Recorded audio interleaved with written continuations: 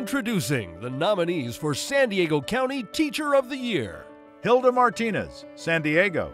What my position allows me to do is, is create that um, opportunity to get a second and a triple dose of a lesson. Um, super fine tuned to the student's strengths and needs. Um, we always want to honor what they do know and use that to our advantage, but it's done in a very small group, very systematic way. Um, and more often than not, kids just thrive. They really just need um, additional learning opportunities. Miss Martinez is my favorite teacher because she teaches us reading. Miss Martinez, I want to thank you because you're helping me read better and be good at things.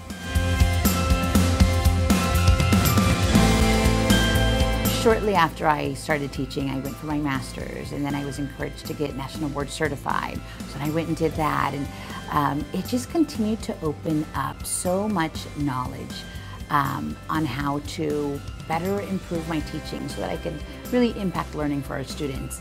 Um, I worked in, I've always worked in inner city schools, and so I know lots of adversity that students come with. And when I continue to grow, it just continues to help me, you know, push their learning further. Um, and I love, I love inner city. It, it's who I am. I, I, always say I am the face of an EL. I'm the face of a single mom. She does exciting stuff because um, we like to read with her. It really is humbling.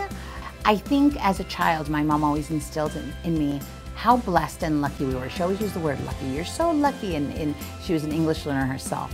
And she would say, You're so lucky to go to school. I wish I got to go to school in Mexico. You're so lucky that every day you get to go and listen to teachers share their knowledge with you. Um, and so we always saw school as a blessing. We always saw school as yay, we get to go to school. And we were those kids that were excited to come to school. And that's just what I want to do now for, for my students.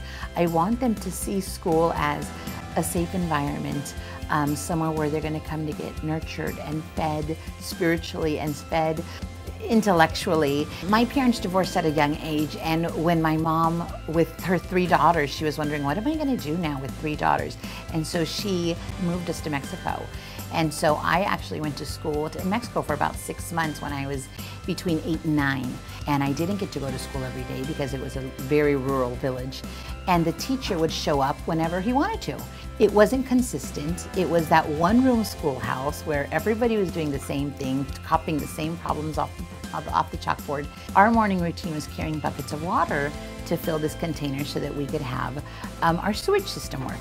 And I moved a lot as a kid. I mean, my parents were always the ones looking for cheaper rent. I was in fifth grade when I when I met that one teacher that really that I saw valued me and saw me as a person. And as an adult now, value my adverse situations that I was in because now I, I grew from them, and I and I and I turned.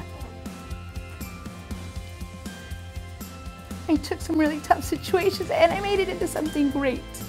Miss Martinez deserves this because she worked as hard as she works as hard as she can with all of these groups. I have such an incredible support. It's all about the village. It really is um, my husband and my daughter who are just so supportive and anything they can do to help me. It starts at home and it starts with my mom who always encouraged us, always made sure that we were fed and ready for school, um, made sure that we were respectful at school and made sure that we were there with a purpose. I think when we really understand that we're all in it to um, grow children into these amazing human beings, everything falls into place.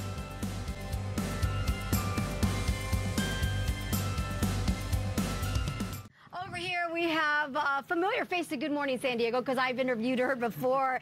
Uh, uh, Martinez, good morning. Good Congratulations. Morning. so much. And you are a teacher at uh, Zamorano Fine Arts Academy. That's right, in Paradise Hills. Paradise Hills. What was this like for you last night?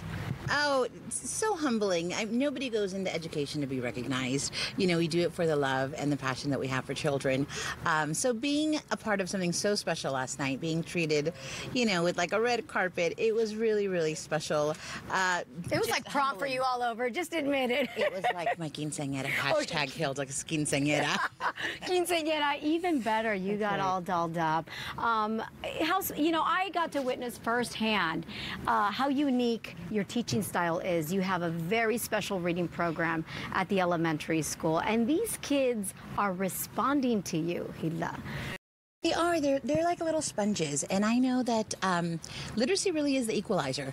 And so I'm going to do whatever I can to make sure that kids have the passion that, that children have for books, because we know that when they when they are literate, when they're able to be critical thinkers, it just opens up a whole world to them. That's fantastic. Congratulations. Okay, so what